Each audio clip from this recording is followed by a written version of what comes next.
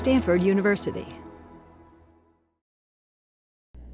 I'd like to use as a subject from which to speak uh, this afternoon the other America.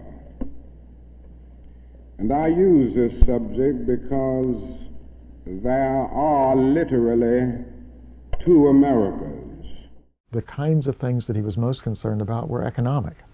By the time he arrives at, at Stanford, he's already beginning to think about how to move beyond civil rights to these economic issues. He really gave them a lecture about the problem of poverty. That, to me, is, is much more the real king. The Martin Luther King Jr. Research and Education Institute was established about 10 years ago at Stanford in order to carry on the work of the King Papers Project. In 1985, Mrs. Coretta Scott King asked me to edit and publish the papers of her late husband.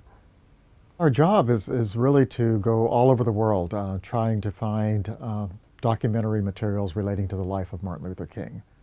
We've identified several hundred thousand documents. Out of those, we've published um, a few thousand uh, that represent what we think are the most historically significant ones. I think of these documents as windows into the life of Martin Luther King. One of the documents that I think had a great impact on me was a paper that he wrote for a class at Crozer Theological Seminary back in 1950.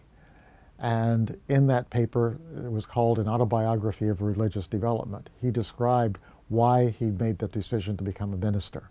You can see, even as a young adult, he already has his mission. 30 years ago, when Mrs. King asked me to edit Martin's papers, these were available only to a handful of scholars.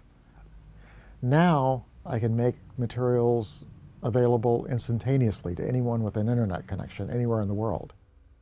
Starting in 65, King really went back to his roots. He says that what's happening in the United States is, is a relatively small part of a world phenomenon.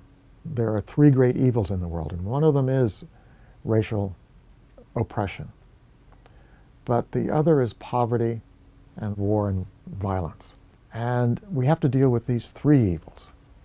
So I think that his message is, if anything, more relevant today than back in 1965 we will be able to transform the jangling discords of our nation into a beautiful symphony of brotherhood.